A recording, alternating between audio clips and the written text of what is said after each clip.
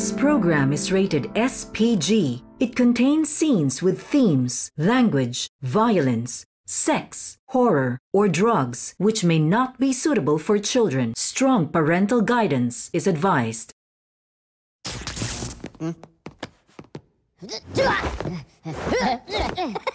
eh, narito na. Hop, hop, hop, hop. Eh, oh. Wimpo!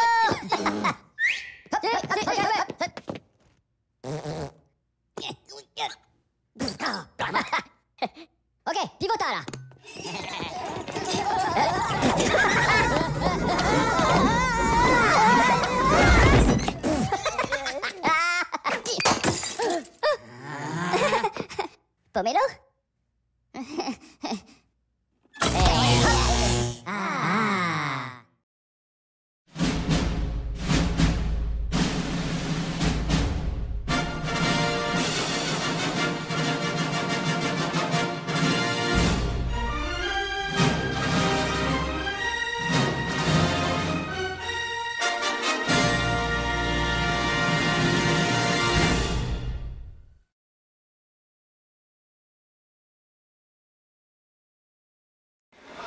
We are here in Sacred Heart Hospital and we will be having an interview with Miss Nagin.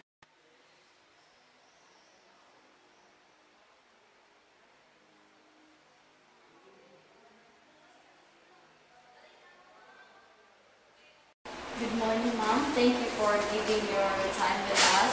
And I will be giving two questions for you to answer. Okay, the first question.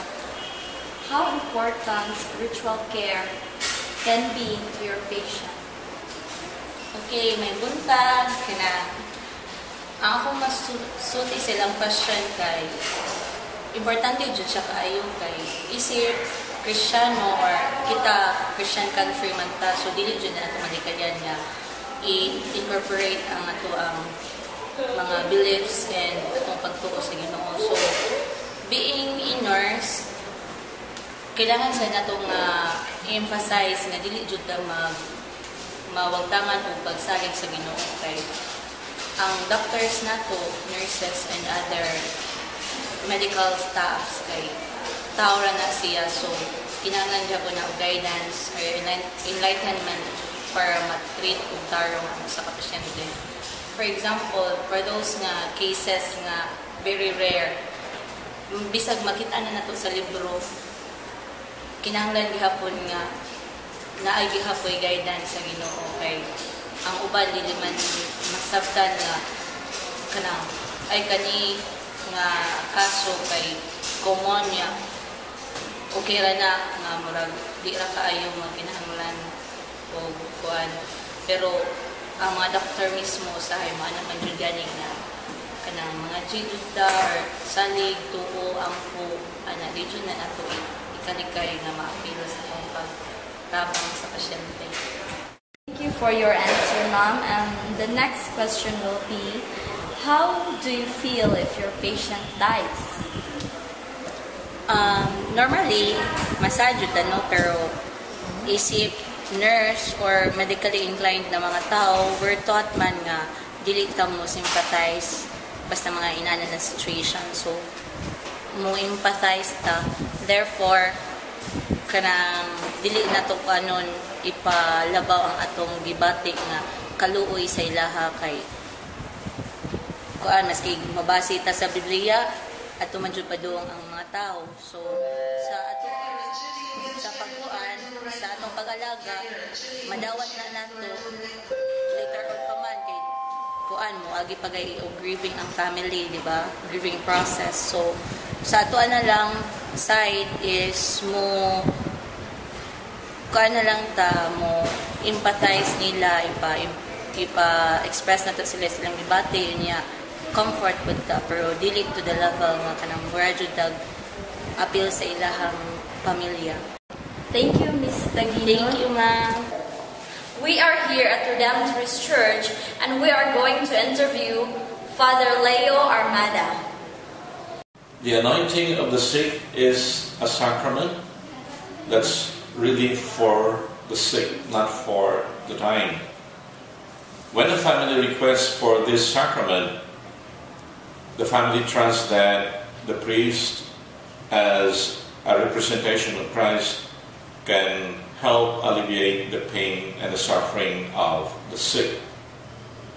They put their trust that God, who is the source of healing and cure, can do something about the patient. In the Bible, especially the Gospels, we have several incidents that Jesus performed healing. He cured those who are suffering from all forms of maladies. He performed miracles out of compassion, out of pity to his people. He alone is the source of healing, but God uses people, instruments, to let people realize that these people, through these people, they can also be a source of healing and uh, cure. So you have doctors, nurses, people who are engaged in healing. They are instruments used by God to show to them that they can also do cure and healing. But eventually it is God who heals and who cures. All we have to do is put our faith and trust in the Lord that whatever He wills, it's always good for us. Okay, so the sacrament of the anointing of the sick is not for the dying. Hmm? There's a misconception that when a priest is called to anoint, the patient is dying. No. But because of a lot of experiences, well, there's always this conception, but that is wrong. It should be when the patient is sick, when he's still conscious and he can join the prayers. That's the best time to request for this sacrament, anointing of the Never say never. Never, never, never.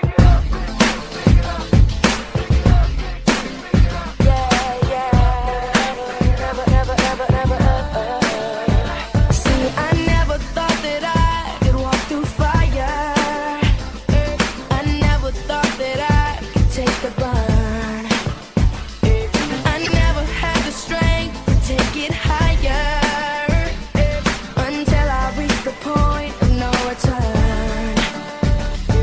And there's just no turning back when your heart's under attack. Gonna give